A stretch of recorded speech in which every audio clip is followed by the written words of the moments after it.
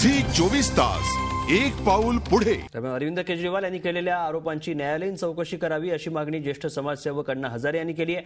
केजरीवाल यांनी आरोप केलेले बड्या हस्ती आहेत त्यांची चौकशी व्हायलाच हवी असं अण्णांनी म्हटलंय.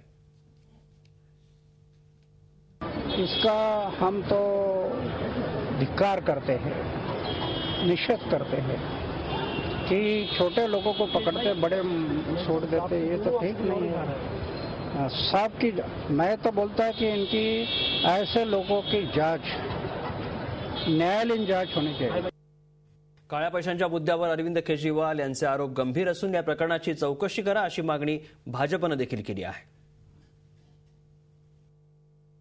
केजरीवाल जी ने जो विषय उठाया है ये हवाला से नहीं सीमित है। ये हवाला है जिसमें उन्होंने एचएसबीसी की एचएसबीसी बैंक का वर्णन किया है।